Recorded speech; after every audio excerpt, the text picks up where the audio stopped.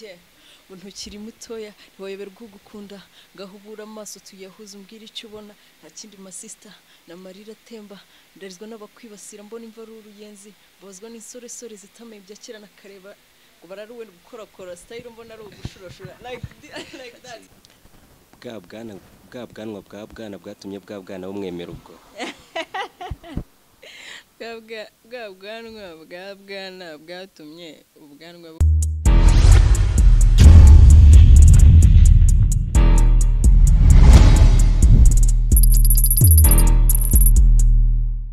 amazina yanjye ni manzi clay. Leroy paulsen twizere ko mumeze fresh sana cyane.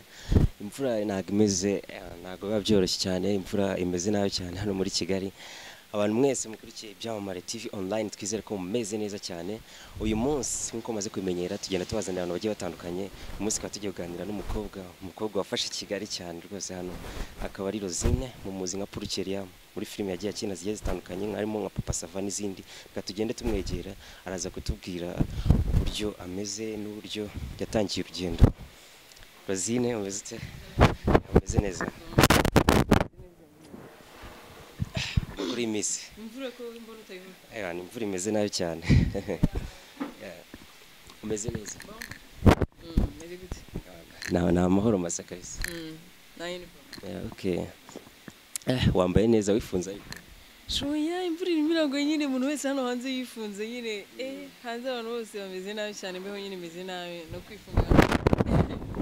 Ibyo bintu wambaye agaciro k'amafaranga bihagaze nkangahe niba atari ah, bihenze birimo birasanzwe kabisa.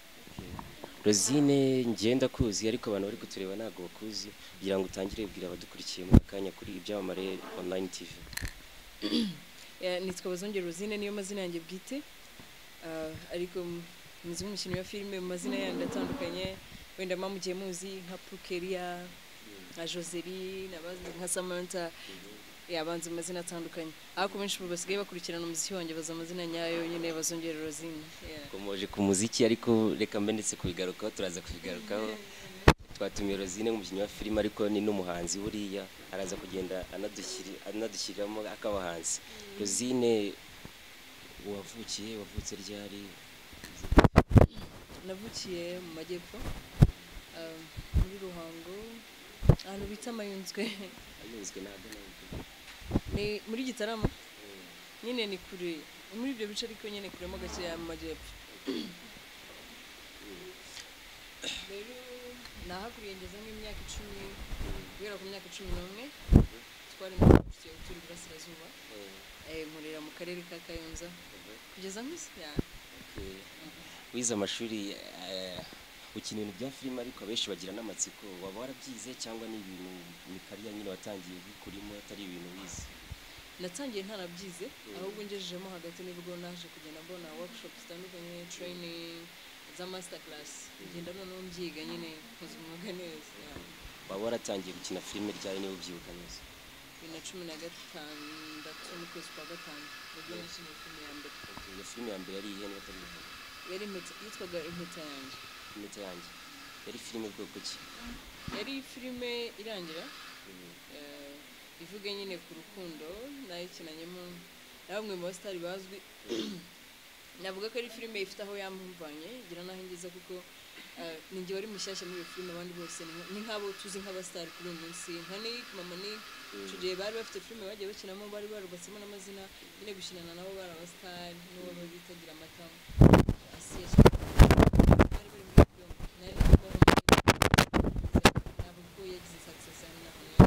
okay waba warinjiye ute mu rwego rwa filime byaba ari ibintu byagutunguye cyangwa ni ibintu wari waratekereje ni impano ufite cyangwa waba warinjiye gute kugira ngo wisange muri iyo filime bwa mbere? Ntabwo byigeze bintungura nahoraga nyine mbitekereza nahoraga mbishaka nahoraga mbibwira inshuti zanjye ntabwo mbabwira ati ndashaka kuzakina filime ariko mu by'ukuri byari urugendo rurerure cyangwa byari igitekerezo nyine nabonaga ko kizangora cyangwa ari inzozi nabonaga zishobora kuzangora kugeraho. Kuko nakuriye nyine iwacu muri district ntabwo nageraga i kigali cyane. Nkahora nibaza nyine ukuntu nzabigeraho. Ariko inshuti zanjye zibizi Ah, nza kugira amahirwe rero. Umukozi wanjye agira inshuti ye y'umukinnyi wa filime bakundaga ku- guhura ambwira ati mfite umusisita kazini wanjye ukunda gukina filime cyane se hari uburyo wamu- wamurangira cyangwa wamusobanurira uburyo winjira muri sinema umukobwa aramubwira ati nta kibazo uzaduhuza turahura ampa nimero eh, y'umugabo y'umuproducer bita apolinaire uretse ko wari n'umushinga wa filime eh, bita apolinaire ni we wari nyiri iyo filime yitwa impeta yanjye arankasitinga turabita arankasitinga sinda casting mpita nkina muri filime yanjye urebye nuko byatangiye. Gutangira ababyeyi benshi ni ibintu ba- baba batumva. Sinzi niba ababyeyi bawe barabyumvaga. Barabyumvaga cyangwa? Mama yarabizi ko mbikunda ariko yahoraga yibaza nyine. Nawe yahoraga yumva ko bizangora kubigeraho kubera ahantu nyine nari ntuye ya kubera nyine bitandukanye ntabwo yajyaga yumva neza nanjye. Nanjye sinajyaga mbye numva nyine uburyo rimwe nazakina filime rero mama nyine of course byaramutunguye. Kumbona abantu no kwanza nta nubwo yambonye ni abantu bamubwiye ngo bambonye muri filime ngo bambonye muri televiziyo maze mwamubonye agira ati "Ngo twamubonye ari gukina nyine abantu bo mu cyaro batakunze gusobanura hagati ya kure na na na filime ngo twamubonye nyine akina muri teatire muri televiziyo Eh, nyuma nyine agira amatsiko aramaganga kuko se gahunda barimo babwira ngo gukina ngo filime ni ibiki ibyo ngibyo ndamusobanurira ndamubwira byaramutunguye cyane gusa ibyo bintu bikorerwa babigezemo gute abo hageze ute? Nyine biba biramutangaje. Arishima kuko yarabizi ko ari inzozi zanjye ya nyine arishima. Njyewe mama wanjye reka nanshyigikira byose nshaka wananshyigikira ni ibintu wumva bidasanzwe kubona umubyeyi ashyigikira umwana we ukumva nishimye kumubona ku mateleviziyo. Ariko nawe hari hari amatsiko wagize ukina filime ya mbere. Uyibonye ute kuri televiziyo? Ubibona kuri televiziyo wabyakiriye ute? Nabonaga narimo kubyumva neza nyine ushobora kugira inzozi wenda zo kuzaba umusitari kuri televiziyo mu bintu runaka muri entertainment. Ariko ushobora kubaho nyine iyo urimo ubireba for first time ubibona kuri televiziyo uravuga this nyine ubumva bitangaje bose ni njyewe nyine ukumva urimo urireba ukora ukuntu uvuga ko yaranabyishe yaranavuze nabi kuko umva ni ubwa mbere nari nkinnye filime naribazaga se buriya meze gute? Se buriya nagiye mvuga neza buriya se nagiye mbikina neza. Nkajya mbona nyine ahantu nta byansabaga emosiyo wenda n'amagambo make nkabona nyine nabyishe like iyo urimo wireba bwa mbere ubona amakosa menshi ubona ibintu byinshi utaruzi. So byaranshimishije ya- ahandi nyine ndigengera nikosora komenti noneho z'abashuti bawe abana mwakoranye muri karitsiye kubona kuri televiziyo ni ibintu bidasanzwe. Abana bo nyine biba byabarenze babona nyine wabarenze urenze nyine bya hatari byarabatangaje aho herozine wabigenje gute? Wajya gukina gute muri filime? Wahuye ute n'abakinnyi ba filime? Ntabwo babyumvaga nyine uburyo nahuye n'abasitari urazi? Abantu benshi nyine bo mu cyaro baba bibaza umusitari runaka cyangwa byonyine nkanamubona ukumva ndi kumwe nabo ndimo nkinana nabo ntabwo babyumvaga nyine. Byabaye sitori ndende ariko nyine. Bagera aho noneho babona nkinnye mu ya mbere babona ngeze muri sitimedi noneho nca buri munsi kuri RTV babona birabatangaje cyane ariko nyine baza kubimenyera ubundi umusitari wabo. Ukomoje kuri sitimedi mpita ngira amatsiko. Sitimedi ni filime imaze gufata irindi zina hano mu rwanda. Abantu bakurikira ibintu bya sinema mu rwanda ni filime bafata ko ari filime ishobora kuba aho igeze. igeze. Kuwinjira muri sitimedi byagusabye izihe mbaraga wabigenje ute kugira ngo n'abandi bana bafite amatsiko yo kuba bakina na filime bakaba bagera no mu rwego rwa sitimedi bakaba bagera no muri za hollywood. Wababwira urugendo wakoze kugira ngo ugere muri sitimedi sitimedi kugira ngo njye gukinamo um, ni casting naho narabimenye um, umuntu wampaye link y'uko hari casting ni njuga. Njuga uh, benshi baramuzi. Njuga ni we wambwiye ko harimo casting muri sitimedi arambwira ati hari umukobwa barimo barashaka kandi uwo mukobwa ntushobora kugira amahirwe bakaba bagufata. Arambwira ati rero uba- ubaze neza umunsi wa casting uzajya muri casting then urebe ko wagira ayo mahirwe. Niko byagenze yampaye nimero y'umusore bita kamutiganda uh, yari umwe wa assistant director niba atara- niba atarafashaga umwanditsi. Mvugana nawe ndamubaza se casting iri ryari ko nshaka kuza nyine muri casting arambwira ndagenda burankasitinga kubw'amahirwe navuga nyine ngira amahirwe. Baramfata muri stimade stimade na yo natangiye kuyikinamo bibiri na cumi na gatandatu mu kwezi kwa munani gutyo numva byo birarenze ni urugendo ruba rutoroshye eh, ni ibintu biba bitoroshye kabisa kwiyumvisha ku buryo ushobora kugera ku nzozi zawe. Kandi ugakora n'ibintu ukunda ni ibintu biba bitangaje cyane ntabwo biba byoroshye kuba ukinnye filime ya sitimedi aravuga ati ibintu byo gukina filime ntabwo bihagije reka ninjire mu muziki. By'umuziki byaje gute ni ibintu wiyumvamo cyangwa ni ukuvuga ati hari umuhanzi nkunda ari mbona abikora nanjye reka mugendere vuba ukagendera mu kigali ni ibintu njye nawe nyagendera mu kigali kuko nzi ko umuntu ukoze ikintu cye cyangwa ikintu kiri eh, afitiye impano passionate agira success rero eh, kera nararirimbaga nandika film. Ariko nk'uko nabikubwiye nabaga mu cyaro. Nari wa mukobwa nyine ufite inzozi ariko ntazi ngo wenda wenda byazaba. Nyine numvaga ziri kure cyane. Sinari nzi kigali sinajyaga nzi kigali. Gusa nandikaga indirimbo nzumva ngo twese twumvaga amaradiyo ku ishuri mpafominga njye ndi umusitari wo muri karitsiye bose. Bari banzi nari umusitari wo muri karitsiye naririmbaga indirimbo za tafu gengi ninjye wabaga uzizi. Hari indirimbo za tafu gengi uzi ya Jay Paul okay ngiye nzumva nazisubiramo nkazimenya nkazibuka zose ariko bwite hari indirimbo itajya imba mu mutwe bita waduwaho akanyarira ijisho. ntabwo nyibuka again.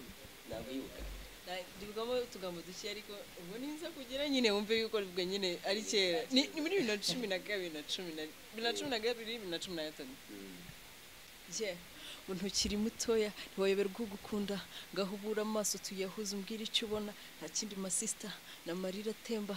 Ndarizwa n'abakwibasira mbona imva ari uruyenzi. Mbabazwa n'insoresore zitamenye ibya kera nakareba ngo bararuwe gukorakora sitayiro mbona ari ugushurashura. Like that. Ahubwo bayita akanyarira jisho yankoze ku mutima nakundaga kuririmba cyane. Imbese ahantu bantumiraga. Nawe mushiki Jay Paul ibintu biba bitoroshye noneho uba utangiye kariyeri ya- y'umuziki wawe kwinjira muri studio bwa mbere byari bimeze bite ntabwo nagiye nzi ko ngiye kuririmba nagiye ngiye gusura umushuti- nagiye ngiye ndi kumwe n'umushuti wanjye bita Narisa Eh, tugenda nyine ambwiye ati "M- mu rugo iwacu tugira studio. Ndavuga okay. Ngo waziraje kuyisura ko yajyaga yumva mvuga rimwe nzaririmba nzawe njye nzajya muri studio ndikodeka kajya ambwira ati ko mu rugo tugira studio nubwo really okay. Ako nkumva I don't care. Noneho rimwe arambwira ati turavugana ngiye kujya kumureba arambwira ati ndi kuri studio. Ngaka iyo studio uhora umbwira akansina nahareba nari nagera muri studio kwa. Nyine numva ko studio zihari nzi aba- aba- abanya- aba- aba pro ariko ntajya ngira amatsiko cyane yo kujya kuko numvaga ntaho ndagiye ikindi numvaga ntarihaza mu byo kuvuga ngo wenda nabasha kugenda ngo nikorere indirimbo numva nkeneye gukora. So sinahoraga mbitekereza cyane. Ikindi kera narandikaga byagezeho noneho no kwandika ndabireka nsa nk'ubyibagiwe nta ndirimbo n'imwe nari nkifite. Noneho ambwiye ati ngwino unsange kuri studio naho kaze mpageze nyine hari harimo producer witwa Rwanyindo ni muri Genesis. Ashyiramo beat nyine akora beat. Nambwira nti rekeramo iyo beat numve ko nabasha kuririmba. Nshyiramo imirongo nyine ndaririmba. Ndaririmba numva birakunze. Eh bita mvuye se ko numva nibo ngomo neza. Nabo birabatangaza bavuga ati Rosine kuzi kuririmba. Ndavuga nti nawe simbizi nyine ndumva na yo ndimo mbibasha. Nubwa mbere nari ninjiye muri studio bakampa beat. Like ni nubwa mbere nari ndirimbiye kuri beat. Ko kera najyaga ndirimba ariko ndirimba indirimbo z'abandi cyangwa ndirimba acapella gasanzwe. Noneho bari banshyiriyemo beat numva ndimo ndamanuka neza ndavuga Namu- na n'uwo mukobwa nyine na narisa icyamamaza ba- biramutangaza avuga ati Rosine like I, did, like I never know like you're like this. Ndabwira ya nanjye nyine nawe nari nzi ko byambera gutya. Ah, noneho ntashye numva nyine numva binejeje umutwe ndavuga nabikoze neza. Uho kongera nkandika. Si ubundi nabibasha. Ndandika numva noneho numva sinimo ndabyumva neza eh nsubiye kuri studio. Umva nakoze ku ikaramu gusa. Ndandika ntangira gutyo ndavuga ni reka nkukore n'ubundi ntago gukora audio bihenda cyane. Ndavuga nabasha kwikorera indirimbo. Ubu ngubu ntabwo ari nka kera wenda nari nkeneye wamfasha n'iki cyane? Ndavuga nti reka basi ngerageze numva. Ubu ugiye muri studio ukubise imirongo wose warumirwa. Wadu- waduha kuri uwo murongo wakubise muri studio. N'iyo ndirimbo warayisohoye cyangwa ntabwo warayisohoye ntabwo nzayisohora. Indirimbo naririmbye bwa mbere Bwa mbere. ntabwo nzayisohora. Yitwa gute? Na- iracyari muri studio. nta- iracyari mu gikoni. Ya, iracyari mu gikoni rimwe kabisa Yeah. ubu ngubu kugeza kuri ubu ngubu umaze gukora umuziki ugize indirimbo zingahe Eh, eshatu. Eshatu? Wazibwira abadukurikiye? Ego iya mbere naso yitwa akabando k'iminsi indi yitwa weekend indi yitwa stay. Ya, akabando k'iminsi na stay nizo zifite video. Niba nibuka neza akabando k'iminsi ni uburyo butangaje ni babaye n'umukecuru niba nibuka neza. Nk'umuke- nk'umukecuru umeze sinzi ko wayibonye ariko eh, ahubwo mba ngaragara nyine ok mba nsa nabi mu maso. Mba nisize amavidange ibintu nyine bisa nabi. Ibyo navugaga sinzi ukuntu look wari ufite look itangaje okay ni video nkora. Bwite indirimbo akabando k'iminsi ni indirimbo ishaka kuvuga cyane ko akabando k'iminsi nashatse kuvuga ni umurimo no gukora no kubyo kugakora ugakora amaboko mu mufuka rero nagarutse cyane ku rubyiruko niyo mpamvu no muri video irimo abantu benshi abakobwa abasore n'inkumi ngaruka ku rubyiruko mvuga nti niba udakuye amaboko mu mufuka nta muntu wategera amaboko nta muntu wahora utegera amaboko ikindi buri muntu wese aba afite ibibazo bye. So buri muntu agomba kwikemurira ibibazo bye. Kuvuga nti nyine kura amaboko mu mufuka ugakora. Rero iyo ndirimbo nayikoreye mu igaraje bigaragara ko nta kazi utakora kugira ngo ugire icyo ubona ntusabirize. Noneho nyikorera mu igaraje nyine ibaze nawe umukobwa uri mu igaraje nyine ari hasi y'imodoka arimo afunga ibyuma yongera azamuka akora buri kimwe. Nyine nk'umuhungu atari ukuvuga ngo yicaye hariya ategereje wenda ngo nzabona umugabo w'umukire cyangwa iki. Nawe yihagurukiye aragenda arikorera. Ni nkacyo nashatse kwerekana ko umukobwa nawe nta kintu atabasha ndagenda nyine njya munsi y'imodoka ndakora buri kimwe ndakora nyine. Ya nikureho kumbona kuri ya mavidanje nyine. Umuntu uri mu kazi aba asa ni ibintu byiza iyo ndirimbo n'ubu ufite message nziza. Gushishikariza urubyiruko kuba rwakura mu mufuka rugakora nta murimo w'umunyagara niko bivuga mu kinyarwanda ya feedback z'abafana. Kubona muri filime bakubonye mu muziki byari bimeze biti? Okay, byabaye nk'ibibatunguye niko nabyita nyine aravuga ati Rosine abenshi batangiye kumenya cyane ko ndirimba kuri iyi ndirimbo ya gatatu yitwa Stay. Niho urebye bamenye yuko ndirimba. Kuko ni ho message zabaye nyinshi naho akabando k'iminsi iyo ya mbere nakoze yarebwe cyane noneho comments zirisukiranya bavuga ati ntabwo twe tuzi kuza umuziki it up. Nyine bampa courage nyinshi bambwira ati you can do it do it do it. Ababyeyi babibonye mu babyakiriye by'umwihariko mama ntabwo byamutunguye kuko undi ni byo yari azi nzakora. Ntabwo yari azi ko nzaba umukinnyi wa filime nyine we yaravuze okay that's all we did. Ni ibintu byiza ni ibintu biba byumvikana. Usibye kuba binatangaje kubona umubyeyi ushyigikira ibintu nk'ibyo ngibyo ni ibintu biba bitangaje cyane. Biratangaje cyane. Ariko iyo umubyeyi wawe ari inshuti yawe tell you umubyeyi wawe ari inshuti yawe nyine aba akumva. Ikindi aba azi ko nta kintu ujya ukora umuhisha so aba yumva uko biri kose ibintu urimo ukora biri mu mucyo. Ikindi iyo azi ko ibintu nyine urimo ukora ubikunze avuga ati okay njyewe mama wanjye avuga ati reka ntamubuze amahirwe. Wenda ni ho umugisha we. Ikindi ni ibi ni byo bintu urebye navuga nari ngize amahirwe yo kugerageza nyuma yo kuva mu buto bwanjye gukina filmu ni cyo kintu niko kazi urebye nahereyeho cyane ni cyo kintu nahereyeho. So ntabwo mama yari bunyengere nubwo wenda bavuga ngo ngo umwana ugiyemo ngo biba bimeze gute ah, ugasanga ababyeyi bafite ubwoba bavuga ati ese umwana wanjye ah, muretse akajya muri sinema bizagenda gutya na gutya ko mba numva ngo ni biraracya ababyeyi bafata entertainment mu buryo butandukanye. Cyane ababyeyi noneho biyo mu bice byo mu cyaro. Baba babifata nyine mu buryo bitandukanye bavuga ati ni ibintu by'ibirara abantu batagira ababakontorora ariko ntabwo ariko biba bimeze. Rero mama wanjye njye ndamuganiriza. Aka- akanyumva. Ikindi nyine aranzi burya hari ukuntu umubyeyi aba akuzi ku buryo ibyo ari byo byose utari mujya kure urengera. So rero arabizi kandi na byo byangiriye n'akamaro nawe urabibona ko byangiriye. None umuziki ukawuhuza ute na- na bi- n'ibintu bya filime ntabwo bituma ushobora kuba waba konsatire kuri kimwe ikindi ukaba wakica cyangwa ufite uburyo bimanaginga gukina film ntabwo ari akazi kakubuza gukora akandi kazi. Abantu dukina na filime baba bafite n'ibindi bintu byinshi bakora. Byinshi cyane rwose. Ugasanga akina filime akafite n'akandi kazi. Gukina film hari nk'igihe dushobora kumara nk'icyumweru dushudiye Oh, reka nkuhe nk'urugero. Nko muri iki gihe cy'imvura. Nakubwira ko filime ziba zirimo zirakorwa ari nke cyane na zo za ntazo. Kubera ko igihe cy'imvura mugera kuri seti imvura ikaba iraguye ntimube mugikoze. Mukayitegereza ntihite ubwo ngubwo nyine kandi abakinnyi iyo bageze kuri seti ugomba kubishyura cyangwa ni iki n'ibikoresho byose nyine wumva byose biba birimo kuba rero usanga muri iyi minsi y'imvura tutaba tutarimo turakina tuba tutarimo gukora cyane abakinnyi ba filime igihe tuba turimo turakora cyane ni igihe cy'impeshyi. Urumva nk'ubu ngubu rero muri muri sizoni ya cumi na kabiri abafana bampaye comments nyinshi. Ubu ngubu sitimedi irimo iranyuraho mfite comments z'abantu benshi cyane bambwira ati ukina neza ukina neza ukina neza. Sinzi uburyo nanjye nyine babona ndimo mbikora ariko barimo barampa comments zitandukanye. Okay barimo barampa comment imbere batampaga. Muri papa sava hari episode ah, niba ari ijana na cumi n'umunani nakinanye na na digidigi yes I- eh, digidigi na ndimbati n'umugore we na papa sava. Iryoshye cyane nyine. Ntabwo twe turimo kuraba. Niyo niyo mba naje kwa digidigi yanyuye nk'umukobwa w'indaya kandi afite umugore we nyine yambwiye ko we nta nta mugore agira abana na sheri we. No abana na sisita we. Nkaza tukararana noneho ntampa amafaranga.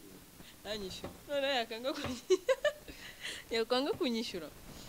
Mu gitondo nkabwe akandi akabona n'amafaranga y'itike akambwira ngo yose twarayateruye cyangwa turayamara noneho iyo ngeze mu gihe cyo gutaha nabwo ni basi ubwo rero ntayafite ngo nihanganaze kuyitegereza rero bibafaye tugato tugatongana ku buryo nyine ibintu biba birebire na landirode akaza kumusohora n'umugore we noneho akaburaje nkamenya ko yambeshye ni ni episode yandiyoye ko nayikinnye nyine ndayifiringa like papa nyine ndayikina nkayifiringa nubwo ndi umukobwa uteye ubwoba ikindi muri papa sava gukina na digidigi na byo ni umukinnyi mu rwanda ufata nk'igitekerezo cyawe wa filime Okay, intare y'ingore anyinira neza cyane. Ubwo ni ukuvuga Speransia muri Seburikoko.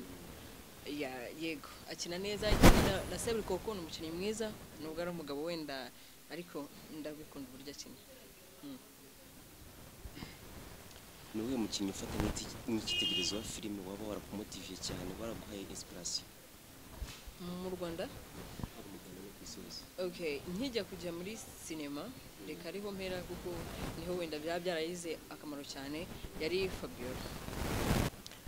Bwa bwana bwa bwanwa bwa bwana bwatumye bwa bwana bumwemera ubwo. Bwa bwanwa bwa bwana bwatumye ubwanwa bumera ubwo. Mm. bwa bwanwa bwa bwana bwatumye bwa bwana bwa bwana bumwemera ubwo. Jesus Christ, that's too much for me mwana bwa bwanwa bwa bwana bwatumye bwa bwana bumwemera ubwo. Mwana ndabikoze biseri. I tried. Okay you Yeah. mukagacinya nta masiri namuciriye mukagacinya nta masiri namuciriye mukagacinya nta masiri namuciriye reka ndi umunyarwanda ngiye urumva uburyo mbivuze neza. Ah, turabashimira mwese mwakurikiranye interview twagiranye n'umuhanzi ukomeye cyane hano mu rwanda akaba n'umukinnyi wa filime akaba twagira ijambo rimwe yasaba abakunzi be bamukurikiranye ku byamamare tv. Eh, ndabashimiye cyane kunkunda no gukunda ibihangano byanjye nabasaba ah, gukurikirana ibiganiro byanjye cyangwa ah, platforms zanjye. Nkunda gukoresha cyane eh, instagram nka rosine bazongere. Eh, youtube channel yanjye eh, nkoreshaho bazongere rosine. Hacaho ikiganiro cyitwa ha friends. Nganira n'abana b'abakobwa babyariye mu rugo ni cyiza cyane mwagenda mukajya mukireba ndetse mugakora subscribe ndetse ni naho hari indirimbo zanjye kugeza ubu maze gusohora. Turabashimira mwese mwakurikiranye ibyamamare tv online. Tubashimira ko mukomeza kugenda mutwereka urukundo rugiye rutandukanye comment share like byose birakenewe kuri kuri interview twagiranaga na bazongera rosine. Rosine wakoze cyane ntabwo watwiciye gahunda nubwo imvura yari imeze nabi cyane.